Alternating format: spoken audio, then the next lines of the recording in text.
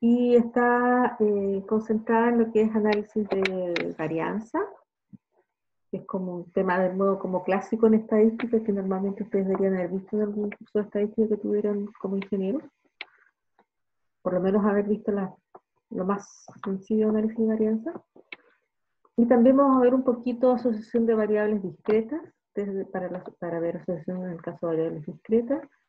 Y va a quedar de tarea una lectura, un par de lecturas de, sobre causalidad. Entiendo que Pablo ya les, entregó algún material en video, pero la idea que complementen con esta lectura. Y la próxima sesión dejaríamos un espacio para que trabajen en grupo en resolver una pequeña, un pequeño control de lectura sobre causalidad. Mm, bien, voy a compartir pantalla.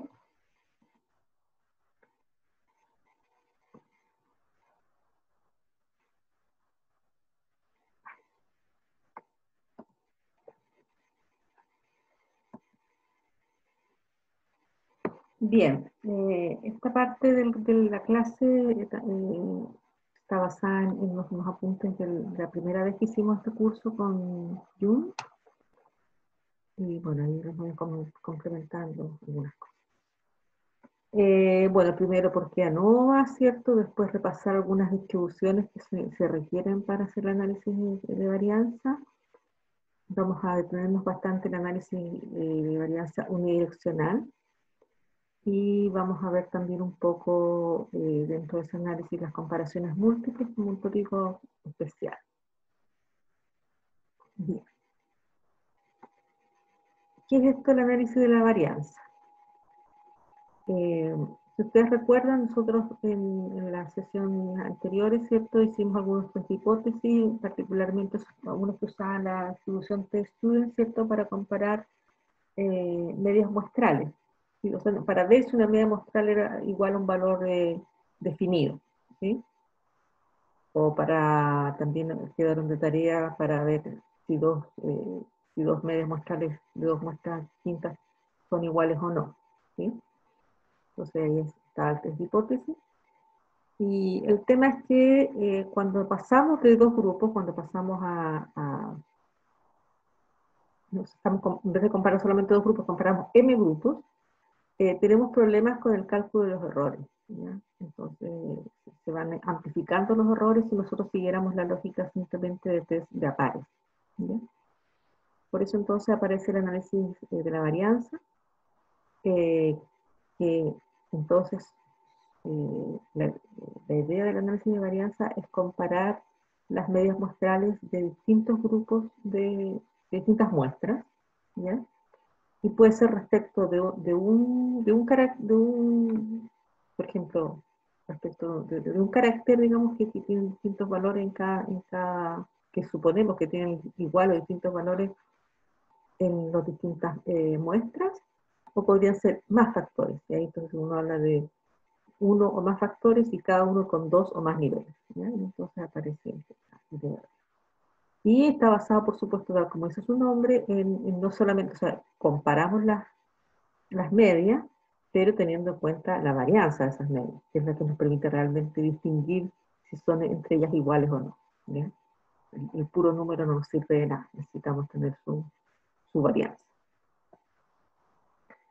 Eh, volviendo entonces un poquito a lo que ya habíamos hecho antes, ¿cierto? Si teníamos dos muestras independientes con medias conocidas, ¿cierto? ustedes además hicieron este, este, esto como ejercicio, ¿cuál sería el test de hipótesis eh, asociado a, este, a esta hipótesis nula, ¿cierto? De que las, medidas de las dos muestras son iguales versus que son distintas, utilizando el mismo teorema, el corolario teorema Fischer-Cochrane, eh, se puede construir el estadístico, que es la diferencia de las medias empíricas, menos la diferencia de las, de las medidas eh, teóricas, dividido por la varianza empírica, sobre 1 sobre 1 sobre n y eso tiene una, se distribuye según t.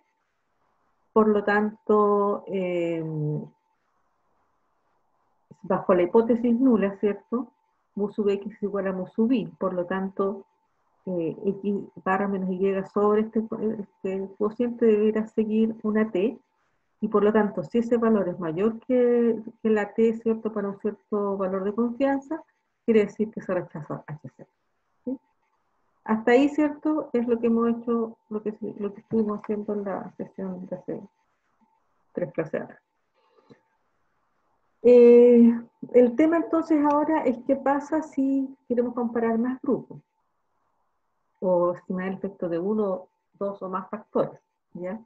Este procedimiento se vuelve ineficiente y es más directo abordar el modelo de análisis de la varianza. En efecto, si realizáramos eh, el, el t-test con cada parte de grupos, no tenemos una forma sencilla de calcular el error tipo 1 de todos los, de todos los grupos, ¿cierto?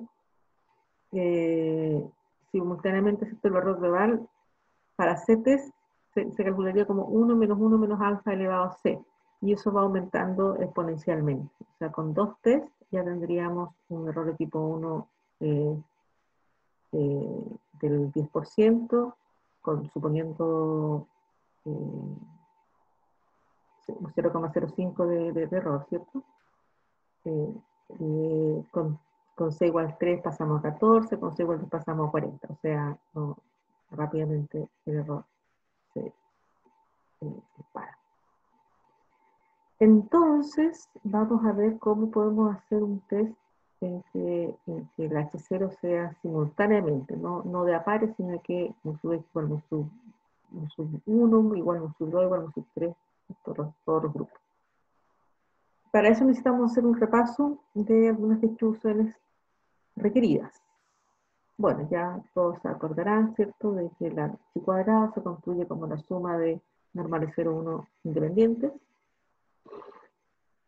Eh, eh, tiene algunas propiedades importantes, como que la suma de dos, de dos chi cuadrados independientes de, de grado de libertad en 1 y 2 sigue siendo chi cuadrado, con un grado de libertad en 1 más n2, y su varianza, su esperanza g y su varianza es 2g.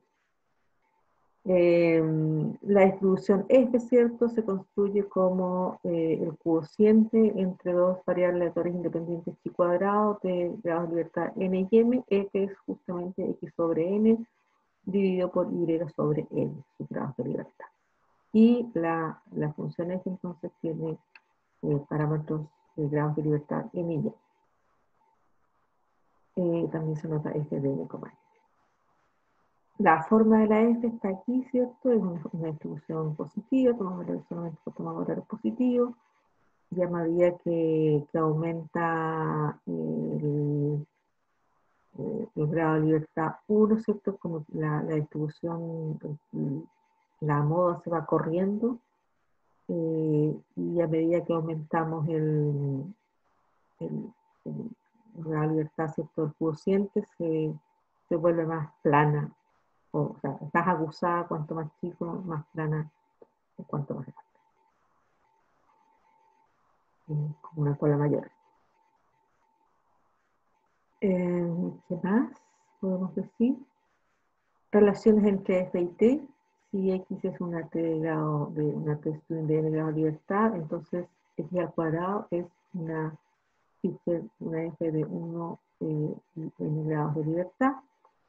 Eh, para eso basta recordar, ¿cierto?, que la, la también se construye como un cociente, era una normal sobre una chi cuadrada, la raíz de una chi cuadrado, por lo tanto, efectivamente, x al cuadrado viene siendo el cociente de dos chi cuadrados, una de un lado de libertad y otra de un lado de libertad. Vamos a nuestro tema de hoy, de la nova unidireccional. Dice, Supongo que tenemos m tratamientos distintos, donde el resultado que queda el tratamiento I a un individuo es una aleatoria normal, y estamos interesados en probar la hipótesis de que todos los tratamientos tienen el mismo efecto. Para ello se aplica cada tratamiento a una muestra distinta de n individuos y se analizan los resultados. Eh, formalmente sean m muestras independientes de tamaño n, aquí todas las muestras son del mismo tamaño, vamos a ver cómo no se puede relajar, eh, entonces, eh, idénticamente, independientes, idénticamente distribuidas, normales, eh, bueno, no idéntico porque estamos viendo que un subir podría ser distinto, sigma cuadrado. son, son, todas normales, ¿no? eso es lo que, todo lo estamos diciendo. ah, bueno, y entre sí son todas idénticamente distribuidas. Y el test entonces es la media mu sub 1 es igual a mu sub 2 hasta mu sub m y la alternativa para algún par i, j, mu sub distinto mu sub j. Ese es nuestro, nuestro test de la nueva unidireccional. Los supuestos, observaciones independientes, eh, eso depende ¿cierto? de cómo haya sido diseñado el, experimento, la normalidad, para testear la normalidad pueden usar algunos de los disponibles para ello, también pueden usar un gráfico de los eh, cuantiles versus los cuantiles, ¿cierto? Para ver eh, posibles outliers. Eh, también hay que testear la varianza, que los grupos sean de la misma varianza. Y hay un par de propuestos. La idea general de la derivación ANOVA. Se trata de construir dos estimadores de la varianza común. El primer estimador no depende de si H0 es cierto o no. En cambio, el segundo estimador eh, asume que H0 es cierto. En caso contrario, ese estimador se sobreestima a sigma cuadrado. Ese estimador sobreestima, el test entonces compara estimadores y rechaza H0 cuando la tasa entre el segundo y el primer estimador es suficientemente grande. Entonces, si el segundo estimador es, mucho más grande que el primero, si esa tasa entonces es grande, eh, vamos a rechazar H0. Porque, porque por construcción el, segundo estimador sobreestima a sigma cuadrado. Bien. Entonces, eh, veamos el primer estimador, entonces, que no depende del supuesto de que las medias son comunes. Es, eh, un estimador eh, que no, considera esa, ese supuesto. ¿Cómo lo construimos?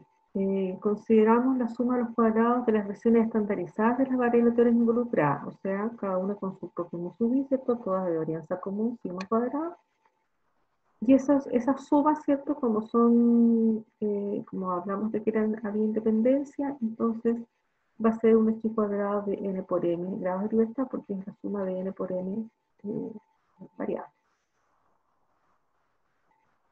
Eh, como no conocemos los musubi, entonces podemos utilizar eh, su estimador máximo de verosimilitud, ¿cierto? Las medias que las vamos a anotar x y punto, ojo, ¿ya?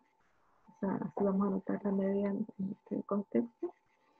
Y entonces eh, la suma de arriba, eh, por, cada, por, cada, por cada grupo, ¿cierto? Podemos, eh, en cada grupo vamos a tener una, una suma de, cuadrados que siguen aquí de n menos 1 grado de libertad. Porque resta un grado de libertad, ¿cierto? Porque esta variable depende de, de todas las otras, que es una variable dependiente, ¿no? Eh, y entonces, eh, como sabemos que la suma de m cuadrados independientes sigue siendo x cuadrado, de, de, media la, la, suma de los grados de libertad, que va a ser m por factor de n menos 1, que es lo mismo que m por menos 1. ¿Tienen si hay algo que no se entiende? Entonces, con esa, con toda esa eh, podemos escribir eh, este, esta suma, ¿cierto? Que se llama la suma eh, intra, la suma de, lo, de, la, de las desviaciones intragrupos, ¿cierto? De la varianza intragrupo, la varianza empírica, porque estamos comparando cada uno de XJ con, con la media de su grupo. Eh, si llamamos así esa suma, eh, la esperanza de esa suma, puesto que es un x cuadrado, ¿cierto? Digo sigma cuadrado, va a ser nm menos n, y por lo tanto nuestra estimación eh, de la varianza en este caso va a ser la, la, esperanza de esa suma, esperanza de esto, dividido por nm menos n. Eh, entonces podemos decir que nuestro primer estimador incentrado, ¿cierto? Porque su esperanza es sigma cuadrado, va a ser eh, justamente la suma de, de las desviaciones de intragrupos, eh, dividido por n menos ¿ya? Este sería entonces nuestro primer estimador de sigma cuadrado y vamos a comparar, y se denomina también cuadrado de la media de los residuos, cuadrático medio, varianza intragrupos.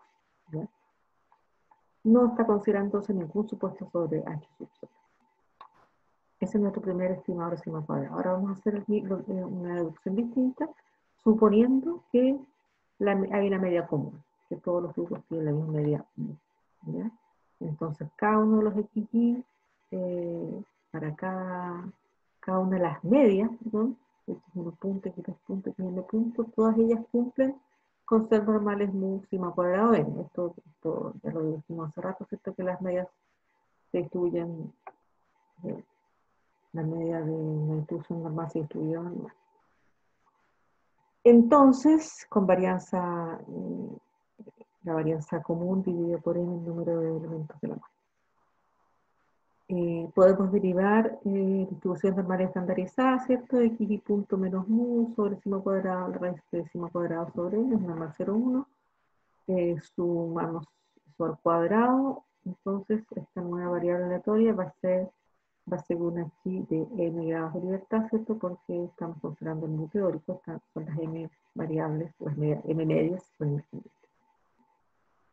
eso llegamos hasta ahí porque ahora resulta que el mundo lo conocemos, entonces vamos a estimarlo por eh, la media general, de todas las, la media de las medias. Eh, y entonces este nuevo estadístico es un x cuadrado de menos, m menos 1 grados de libertad. Eh, nuevamente, a esta la vamos a llamar la suma de las desviaciones o la varianza entre grupos, ¿cierto? Porque calculamos son, las diferencias eh, al cuadrado entre las medias de un grupo y la media eh, común. Eh, le tomamos la esperanza, ¿cierto? Por ser un h cuadrado, va a ser, esa esperanza va a ser n menos 1, por lo tanto, sigma cuadrado es exactamente igual a la esperanza de, de esta suma dividido por n menos 1, por lo tanto, un segundo estimador insertado sigma cuadrado es esta varianza entre grupos. Em, por lo tanto, el estadístico para la nueva unidireccional va a ser exactamente el cociente entre la varianza entre grupos y la varianza intragrupo. Y se rechaza la hipótesis nueva cuando TS es suficientemente grande. Ahora eh, toma su rol, ¿cierto?, la, distribución F, porque con tanto como es eh, tanto la media, eh, la varianza, eh, tanto la varianza entre grupos como la varianza intragrupos son chi cuadrado, entonces con distinto grado de libertad, entonces ese cociente va a ser una, va a seguir una distribución F. ¿Ya? Eh, bueno, esto no es más que algebraico, Pero, proviene de la definición de, de mucha ciencia. Eh, por lo tanto, el test es en función de, la, de la instrucción. Si TS es mayor que, la, que la, ¿cómo se llama? el cuantil del 95% de, de, una F, entonces se rechaza ese percentil. Eh, algunas eh, cosas interesantes, ¿cierto? Es que la suma, esta suma de la, eh, la entidad de la suma de los cuadrados, que me dice que si nosotros calculamos las diferencias respecto a una media común en todos los grupos, la diferencia al cuadrado, se puede escribir como exactamente la, suma de los cuadrados entre grupos más la suma de los cuadrados entre grupos. Y también que la suma de x y al cuadrado eh, es igual a, esto eh, se deduce esto directamente de, esta igualdad que está aquí, ¿cierto? Y hacer la descomposición aquí de desarrollar el cuadrado. Estas son igualdades que nos sirven a la hora de hacer los cálculos. Veamos un ejemplo. Dice una industria automóvil desea probar la calidad de tres tipos de combustible. Para ello observa el rendimiento de los tres tipos de combustible en 15 vehículos idénticos, 5 en cada, con cada tipo de combustible. Los resultados en millas por, por 10 galones de combustible se describen a continuación. Entonces aquí tenemos eh, para cada uno de los automóviles el, rendimiento con, los, con, los, tres distintos tipos de combustible. Eh, y entonces, eh, usando directamente el análisis de la varianza, ¿cierto? Que, provee R, podemos ir diciendo cuál es, el, lo que estamos comparando, digamos, el, el factor va a ser combustible, combustible, ¿cierto? Es una variable eh, categórica. Y, por eso entonces ponemos a, cada, a cada observación le asocia un, valor, ¿cierto? Los cinco primeros, así sucesivamente. Y, y, el análisis entonces eh, se resume, lo podemos imprimir y después compararlo entonces con, la, con, la, con los percentiles de una, de una F, ya con un 5%, con eh, dos de la libertad, ¿cierto? Porque eran, eran tres grupos, menos menos uno, y M, M, menos M, que da eh, 3 por 5, 15, menos 3 me da 12, ¿cierto? Ese es el 12, segundo grado. Y ahí están los resultados. A ver.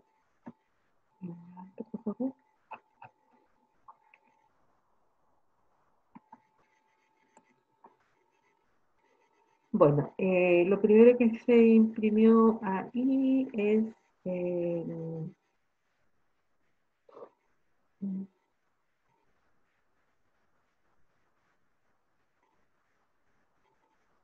las medias las medias en cada grupo. Después está el, análisis de, la el análisis de varianza que me devuelve entonces eh, la suma de los cuadrados, ¿cierto? El, el, valor este es entre grupos y el intragrupos. El siempre me da 2,6 eh, y, la, y el valor de la F, ¿cierto? Eh, al 95%, o sea, la, deja la cola del 0,05% es 3,88, o sea, el valor de F cae dentro de, no cae la cola, ¿ya? De hecho, la probabilidad del p-value es 0,1, ¿ya? Entonces, ¿cuál es la conclusión? Tienen diferentes comportamientos los tres combustibles o no.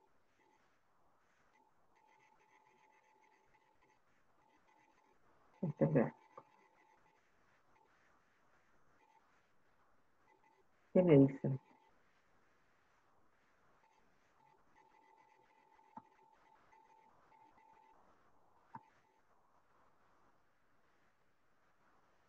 ¿Qué me dice ese resultado?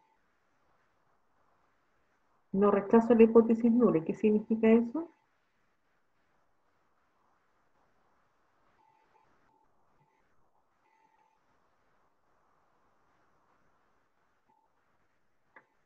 No rechaza la hipótesis nula, quiere decir que eh, no hay una diferencia significativa en el comportamiento de los tres combustibles.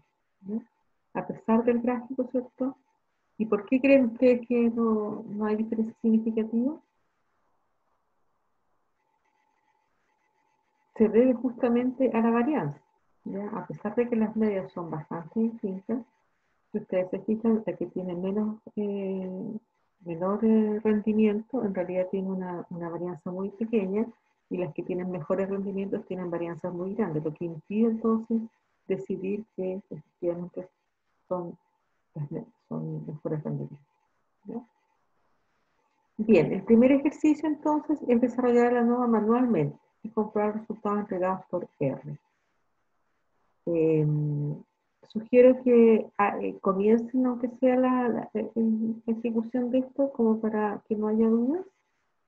eh, y yo les dejo cinco minutos para que lo desarrollen y, vamos a las consultas si es que hubiera.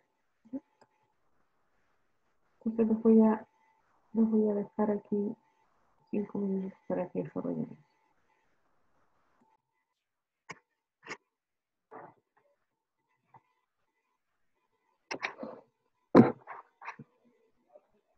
Bien, a continuación vamos a ver eh, el caso en que las muestras son de distinto tamaño. ¿Cómo, cómo se puede resolver eso? Entonces, eh, en lugar de tener eh, puras muestras de tamaño n, tienen tamaño n sub i. entonces, cada una de las de las, o sea, la suma entonces va a ser la, intra, la varianza eh, intre, intragrupo, ¿cierto? Profe, ¿debería eh, estar compartiendo? Gracias. Lo único que se puede ponerme a grabar. ya, ahí sí. Em, entonces, en lugar de tener aquí una, una, chi cuadrado nm menos m, va a ser n, ¿cierto? Donde n es la suma de los n sub de igual a 1 a m, menos m, los grados de libertad que se pierden, ¿cierto? Al usar la media muestral. Eso es para la varianza intragrupos.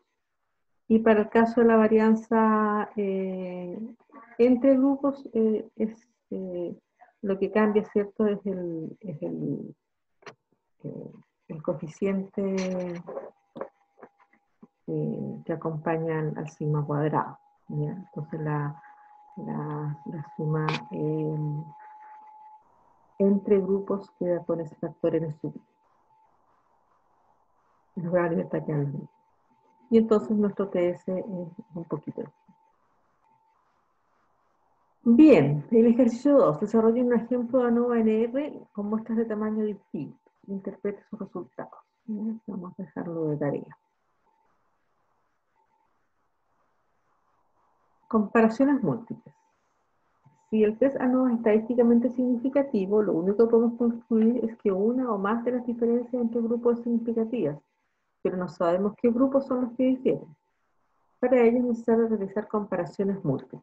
Se trata de comparar entonces cada grupo respecto a otros grupos o promedios de grupos consideran dos posibilidades, comparaciones planeadas, existe interés por algunos grupos en particular, o eh, adecuadas, ¿cierto? No existen, se, van iterándose en todas las posibilidades porque no existen hipótesis específicas.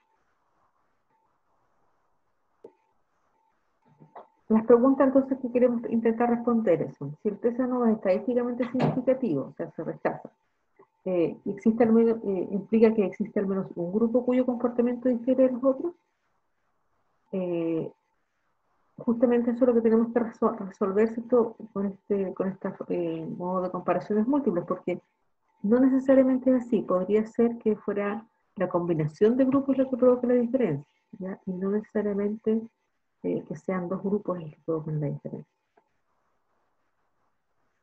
¿Es posible encontrar diferencias significativas con las comparaciones múltiples aunque ANOVA no haya sido significativo? Sí, es posible, debido a que los test de comparaciones múltiples están enfocados eh, más enfocados eh, que ANOVA. Entonces, están haciendo una pregunta más específica que, la hipótesis eh, alternativa, digamos, más específica. Por eso las posibilidades de, rechazo son mayores. bueno, y si es útil el resultado depende de lo que estemos estudiando. ¿Cómo funcionan los métodos de comparaciones múltiples? Vamos a, en este caso entonces, la hipótesis nula va a ser, las medias son todas iguales, y la hipótesis nula existe y como j tal que mu sub i instinto de mu sub j. Y entonces vamos a eh, considerar eh, para, cada parte de grupos un, nuevo, t, un, nuevo, estadístico, ¿cierto? Que es la diferencia de la media de xy con la media de xj eh, dividido ¿cierto? por su varianza muestral, eh, cuyos grados de libertad ¿cierto? van a ser n sub i, suma de los n sub i menos n, igual que antes. Y entonces, eh, este ya no es un TC, es un test ¿cierto? Porque estamos eh, dividiendo los, las medias que son normales divididas por las varianzas empíricas. Usamos una T entonces, ¿ya? Para buscar. Esto lo que haríamos entonces una vez que eh, detectamos una primera fase que hay diferencia, que, o sea, que se rechaza la, que son iguales, entonces empezamos a, desde a pares, a, a determinar que hay diferencia de pares. Esa es una alternativa. Hay otras alternativas que tratan de, de estudiar lo mismo. Por ejemplo, el test de Takei, eh, que es un poco distinto, ya porque define el mismo estadístico, pero eh, utiliza los rangos, la descripción de rangos de estudio. O también está Bonferroni, que usa otras otro es lo que hace Bonferroni. Utiliza el mismo estadístico, pero calcula la significancia considerando que se realizan C comparaciones. Por lo tanto, entonces, eh, considera eso para el cálculo del, del alfa. De modo que de mantener el error de tipo 1. Son variaciones sobre, considerando el mismo estadístico, pero eh, variando eh, la significancia tenemos un ejercicio aquí aplicado, dice, considere los datos de ay, cesantía del INE. También ese enlace, escoja tres o más regiones y realice una nueva para determinar si el porcentaje de cesantía se comporta igual o no en términos de valores medios en dichas regiones en el curso de los 12 últimos meses. En verdad lo que tienen esos datos no son los meses a secas, sino que son los promedios eh, trimestrales móviles. Entonces toman los últimos 12 promedios trimestrales móviles. Se rechaza el si este cero, desarrolla comparaciones múltiples para determinar cómo difiere. Entonces sería una, un ejercicio más aplicado. Eh,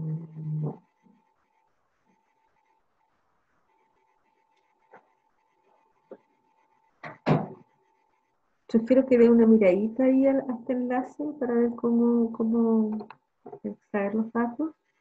Van aquí esto que se llama banco de datos. Y eh, entonces dice, eh, si yo a ver los desocupados, eh, quieren ver los según el censo 2017. Entonces, la variable por fila va a ser eh, la variable por ¿cuál debería ser? Debería ser el, el año, ¿cierto?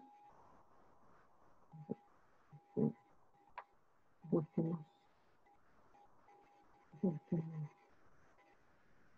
12 meses, el primer proceso de agosto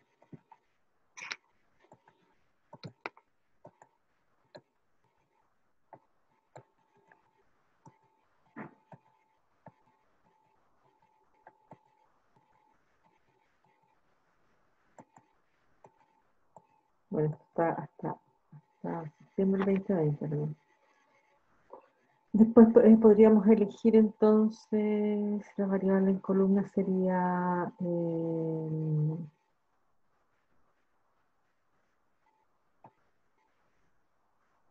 no sé, santo tiene que ser clasificación de desocupados. Y eh, por último, corregir.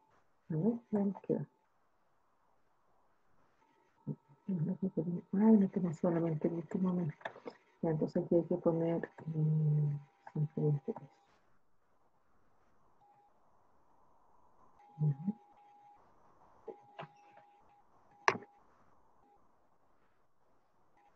Ya, voy a montar todo desde el 2010, ¿cierto? Y eh,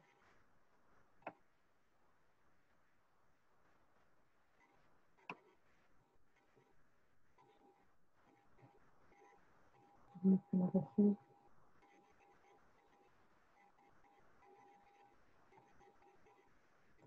Estos son totales, son por región. Parece que hay me equivoco.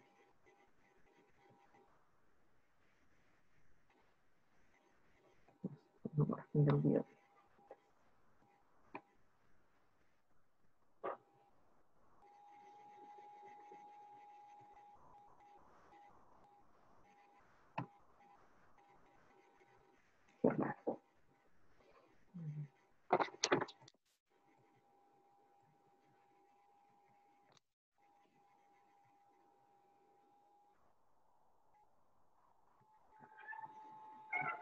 Tenemos que tomar el último. Ya hay algo en el filtro que no estoy sabiendo hacer. Pero... Jugar un ratito ahí para sacar los fondos.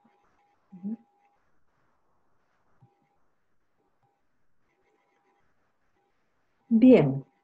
Eh,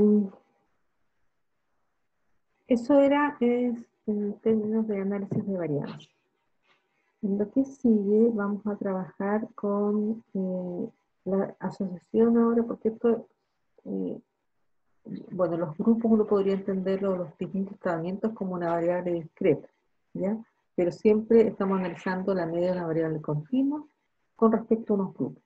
Pero ¿qué pasa si lo que tenemos son solamente variables aleatorias discretas? Y queremos hacer análisis respecto de ello.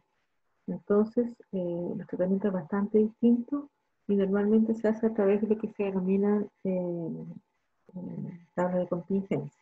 Entonces, tenemos dos variables discretas, x y y, que pueden ser discretas naturalmente o pueden ser unas variables continuas que han sido agrupadas en clases, cada una con sus valores posibles, de sub 1 hasta de sub s, de sub 1 hasta c sub r, eh, y entonces, la tabla de contingencia, eh, nosotros indicamos en cada celda el número de efectivos. Por ejemplo, N11 es el número de efectivos cuya variable X es C1 y cuya variable Y es de sub 1. Y así, NHK, que tiene la variable X es C sub H, para C sub H, y la Y de sub K, el número T.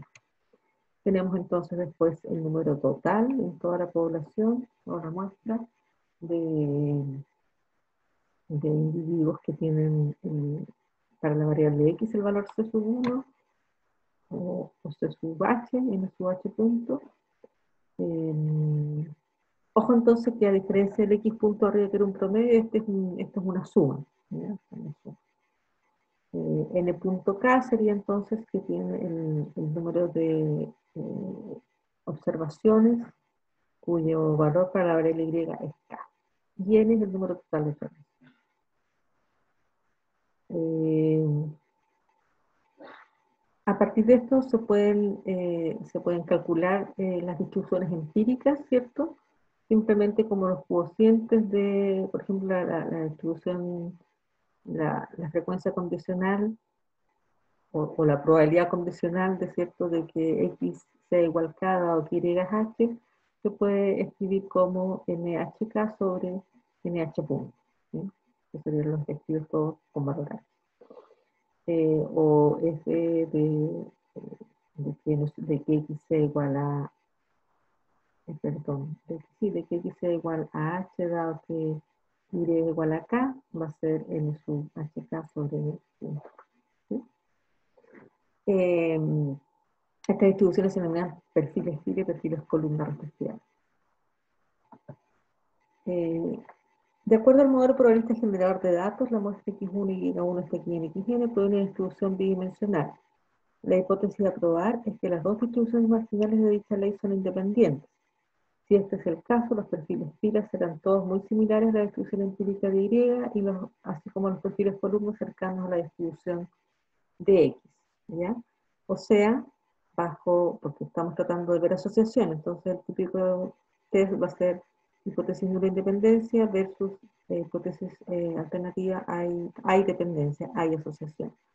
¿ya? Entonces, bajo hipótesis nula de independencia, la, la distribución condicional, ¿cierto?, de, de K, de que, de que de que Y sea igual a K, eh, perdón,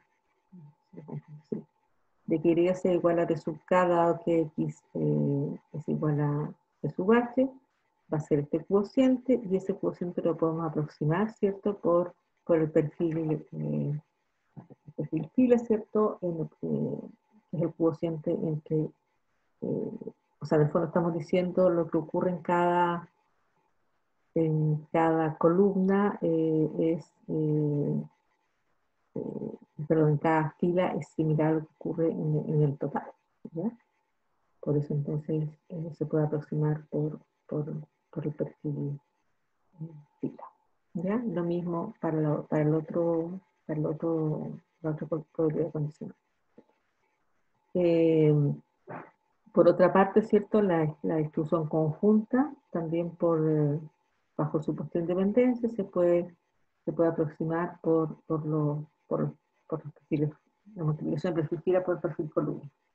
NH punto sobre N por N punto K sobre N sería entonces la, una, el valor de la, de la probabilidad conjunta eh, bajo la hipótesis.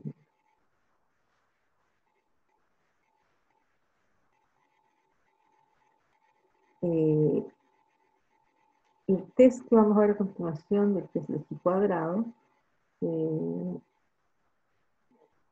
entonces está pensando, supone, ¿cierto?, que eh, compara, compara la distribución eh, que se calcula directamente, que sería a partir de las, de las, distribuciones conjuntas, y aquel que se puede obtener suponiendo independencia.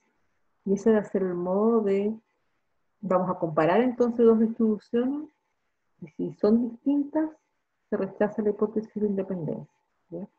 Y para eso entonces aplicamos el test de chi cuadrado genérico eh, que nos permite eh, comparar dos distribuciones eh, discretas. entonces vamos a revisarlo porque no sé si lo vieron con Pablo los test no paramétricos, pero lo revisamos igual. ¿Cómo funciona el chi cuadrado? Entonces que compara dos distribuciones de probabilidad discreta. La, lógica es la siguiente. Eh, suponemos que tenemos una muestra aleatoria, ¿cierto?, de una ley desconocida, y si toman valores, ¿cierto?, en clases, se sube uno hasta sub R, eh, y la hipótesis a probar se refiere a la distribución de esas clases, o sea, la probabilidad desconocida P sub 0, P sub 1 hasta P sub 0, P sub R, las probabilidades teóricas, eh, respecto entonces a, lo que estamos observando. La hipótesis nula entonces es que efectivamente Nuestros datos provienen de esa distribución teórica y por lo tanto la probabilidad de que pertenezca a C sub K exactamente P sub 0 C sub K para cada una de las R clases. Eh, bajo H0, la distribución empírica de las clases eh, de la muestra debe ser cercana a la teórica, siendo la distribución empírica ¿cierto? simplemente la frecuencia de observación en cada clase, cada clase disponible en la muestra. Se puede describir como 1 sobre n, la suma de igual 1 hasta n de la indicatriz de que x y sea igual a c sub k, que no es más que decir el número de individuos, ¿cierto?, que eh, dentro de la muestra, cuyo valor eh, está la variable x es sub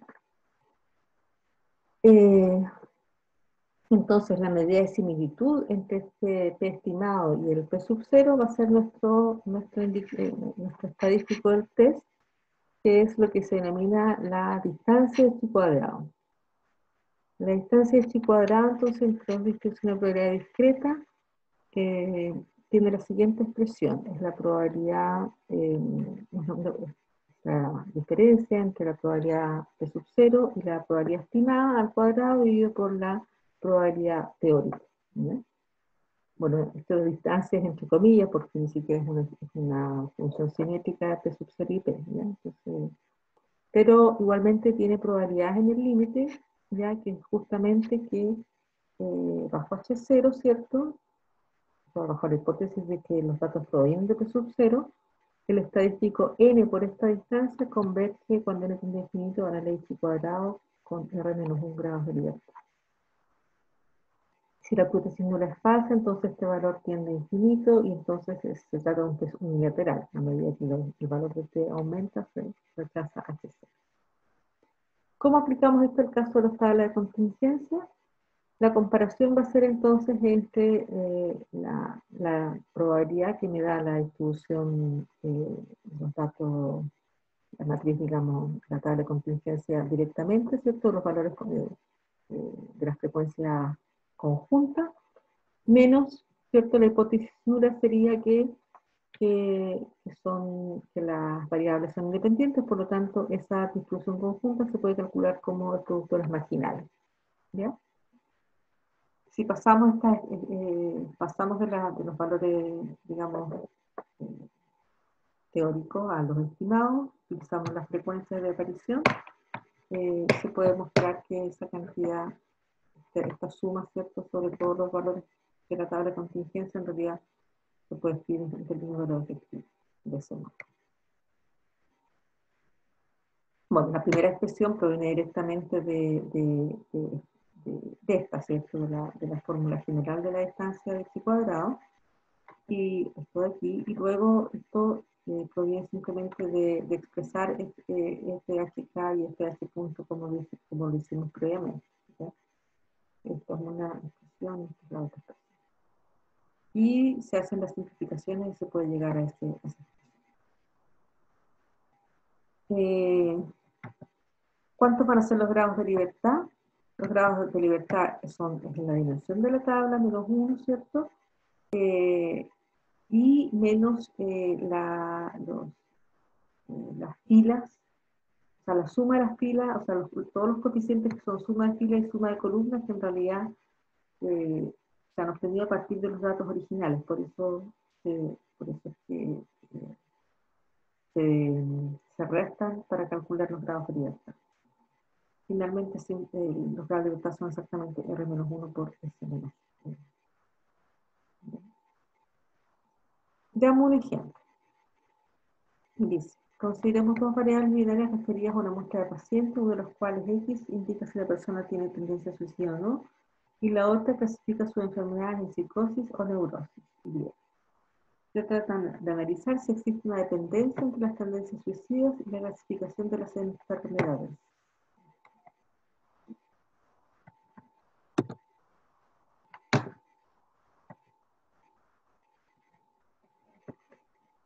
Em, supongamos que la variable contingencia es la siguiente. Ya entonces tenemos un total de 400 individuos, 200 eh, con psicosis, 200 con neurosis, y de ellos 80 con tendencia suicida, 320 sin tendencia suicida, y distribuidos de este modo, ¿cierto?, en, en, las parejas. Con psicosis con tendencia suicida 20, con neurosis con tendencia suicida 60, con psicosis y tendencia suicida 180 y con neurosis y tendencia suicida 140. Y la pregunta entonces es si estas dos, eh, dos caracteres o dos variables, ¿cierto?, tienen dependencia entre ellos o no. Para eso calculamos la distancia de este cuadrado y nos da un valor final de 00625 que hay que multiplicar por n para calcular esta distribución de este cuadrado, que en este caso nos da un valor de 25. Y el valor de los grados de libertad, ¿cierto? Son, en este caso, como una tabla de 2 por 2, va a ser simplemente R, R-1 por S-1, va a ser 1.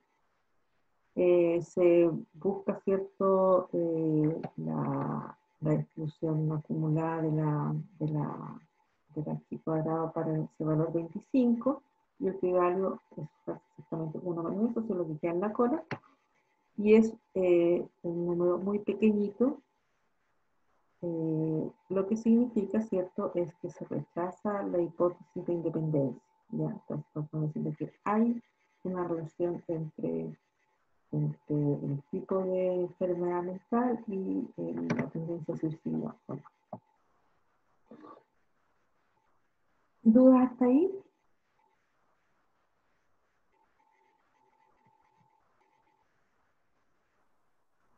No, yo no. Gracias. Eh, bueno, esto lo hicimos aquí a mano, pero se podría haber hecho con el test predefinido en, en, R, que se llama eh, cuadrado test. Eh, y para que exactamente un valor no hay que poner una corrección. Esta corrección se supone que mejora eh, la convergencia. Eh, pero si no se la ponen, exactamente el, test que acabamos de ver y los valores son los mismos.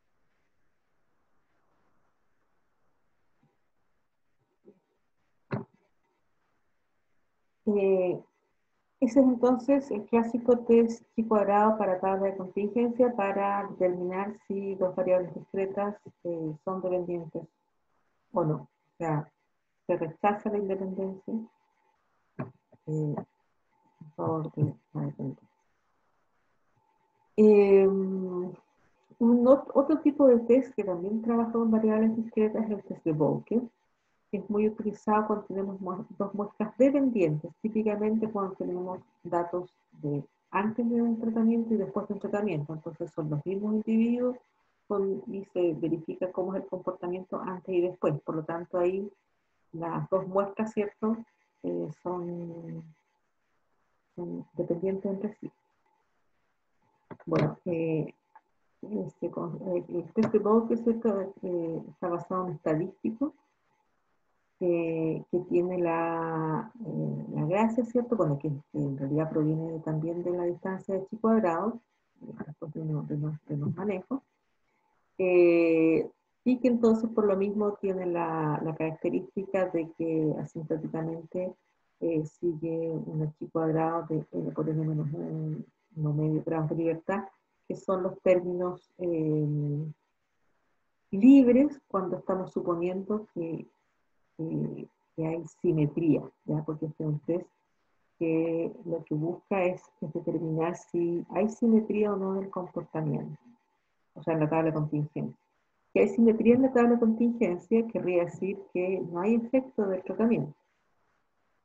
Si no hay simetría, entonces quiere decir que hubo un efecto del tratamiento.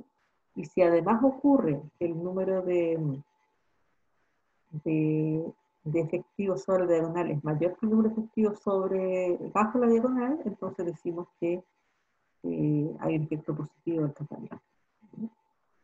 Entonces, eh, hay que, hacer esos dos cálculos, el cálculo del B y el cálculo de, los efectivos sobre y bajo la diagonal.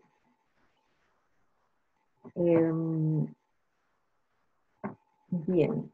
Bueno, por eso entonces los grados de libertad son esos, porque si hay simetría, eh, los, términos libres en la tabla de contingencia son solamente n por n menos 1 medio.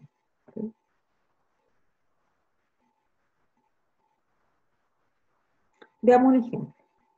Eh, considere los datos de 54 estudiantes sometidos a una evaluación sobre sus, habilidades, sobre sus habilidades eh, de cohesión en la redacción de texto, antes y después de una intervención diaria.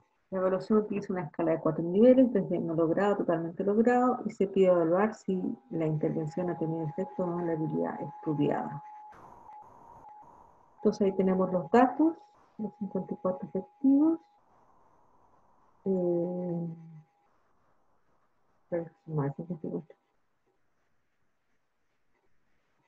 bueno, eh,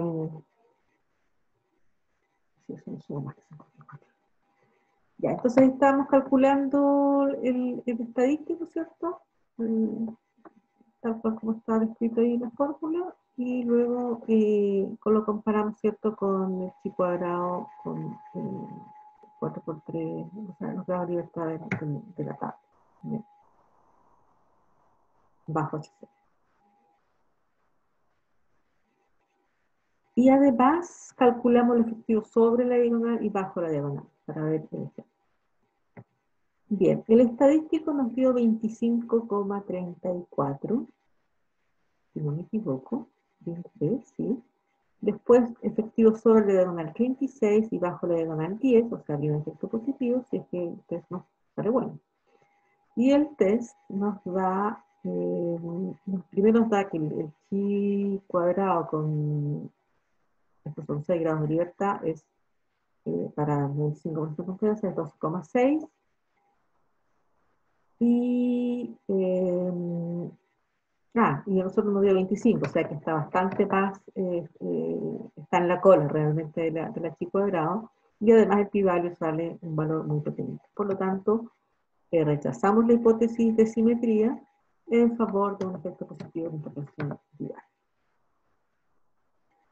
ah, en lugar de darle 8 manito como lo hicimos acá, nosotros podríamos usar el test de McNemer eh, para obtener los mismos valores.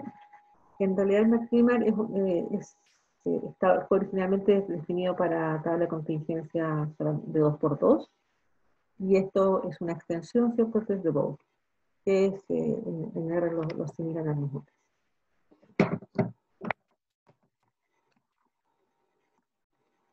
Bien. Eso es lo que tenía para contarles hoy día, fue más corto de lo que esperaba. bueno.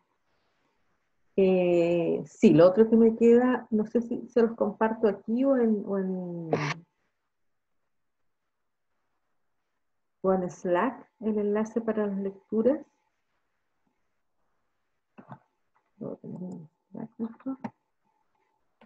En Slack mejor, Sí. profe.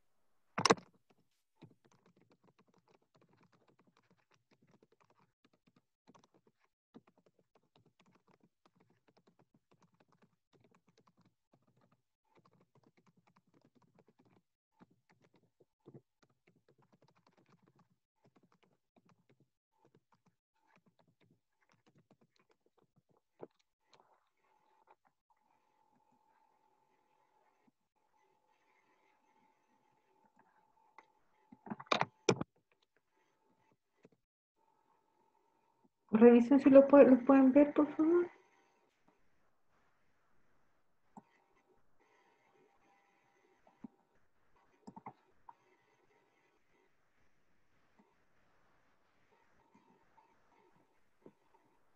Eh, sí.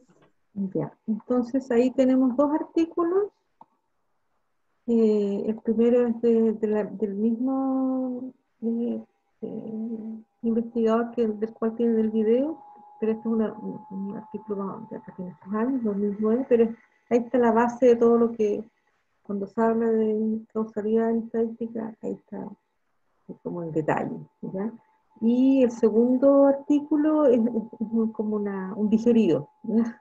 un poquito más breve y, y entonces la sugerencia es en, en orden de, bueno, si a ustedes les gusta ver video, creo que lo primero es ver el video, después yo sugiero ver este, el- leer este que es más breve y, y el, este otro que es más largo, más bien tomarlo como referencia, porque si hay algo que no entendieron, van y lo miran ahí en detalle. ¿ya? Esa sería como mi, mi, mi propuesta de, de uso del material. ¿ya? Eh, profe, ¿dónde está el video? El video lo dejó Pablo en la última en su, en su clase del, del jueves pasado. ¿Sí? Por lo menos yo lo vi ahí. Sí, en la clase pasada al final hay un video. Sí, Ah, ok. ya. Ya pues. Así que eh, la idea entonces para cómo vamos a, a trabajar con esas lecturas es, eh, la idea es que hagan esta revisión de aquí el otro jueves. Por eso la tarea que les dejé ahora es cortita. Son tres ejercicios.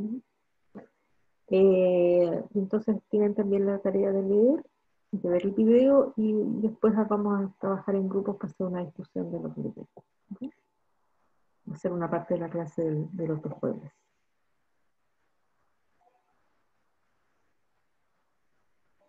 Eh, ya, entonces les mandamos estos tres ejercicios y las lecturas son para una evaluación dentro de la clase. Sí, Hay que o sea enviarle- que va a estar estructurada, voy a hacer un par de preguntas que ustedes tienen que responder en grupos pequeños. ¿ya? Ah, ok. Ya. Bien. ¿Alguna otra cosa? ¿Alguna otra consulta? No, yo al menos no. Ya, la otra semana vamos a seguir trabajando con datos, mezcla de datos continuos y discretos con, las, con, las- con los modelos logísticos y, y Poisson.